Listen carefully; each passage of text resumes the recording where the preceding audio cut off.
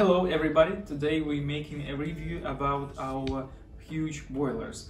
In stock we make uh, 80 liter boiler and 120 liter boiler as like this one. This is almost 32 gallon. A really good option for distiller who have uh, like a things to distill I think. It's better to say like this. So this is custom made on the rollers.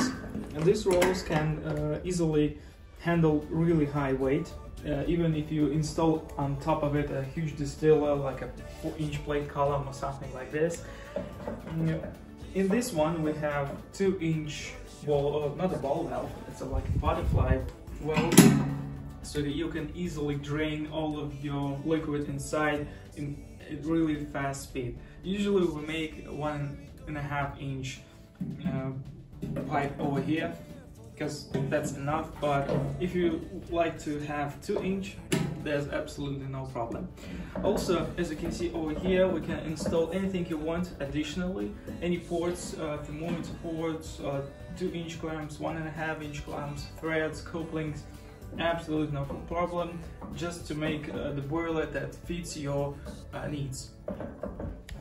So as we go on the top over here we have that clamp for the lid. So it's easy to install because it's made from two pieces. This flat lid has a universal thermometer port, as usual, safety membrane, so if you have uh, pressure suddenly in your boiler, this one will just blow off and you will be safe and nothing will be like damaged. Let's install it back to the lid. Yep.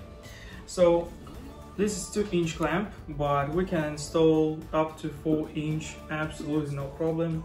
One and a half if you need like a small one, 2 inch, 3 inch, and a 4 inch. Also we're making reducers, so uh, there's absolutely no problem to add anything like over here. Uh, so then we have our gasket, which is really thick. This, is, this one is made from the sanitary silicone so uh, from, from the European material and inside uh, from the other side we have ports for heating element. This is uh, these are threads one and one half one quarters inch but instead of them we usually make two inch clamps or one and a half inch clamps for heating elements. For example you can install low density uh, heating elements and brew beer. If you also install, me a second,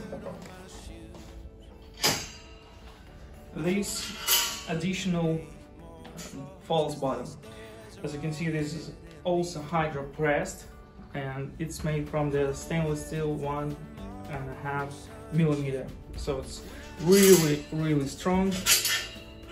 And you simply install it on the to the bottom of this boiler.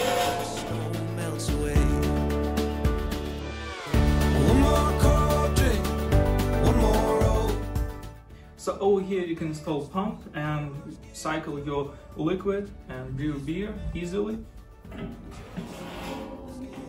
You can distill with uh, this false bottom, but we do not really recommend you distill some grain uh, mash because it has a lot of really like micro pieces of the mash of the grain so heating elements can be damaged uh, that's why we if you if you're going to distill with this unit we just recommend you going with the sugar mash and uh, uh, fruit mash. Also in these boilers we make measurement uh, level of uh, the liquid inside so you're able to understand how many liters or gallons you have in the boiler. In this one we don't have it because it's made in beginning of 2020 but right now we're making this with no problem uh, additionally, with no additional cost, we can make a measurement in gallons. In the stock, we make it in liters. What else? We make these boilers just in a stands as well. So you, you don't need to pay for the wheels, for the this construction. This is gonna be just usual stands with the silicone gaskets on the other side just to mm, just not to scratch your surface where this boiler is gonna locate it. And it's gonna be a little bit smaller because this construction needs to be looking like this.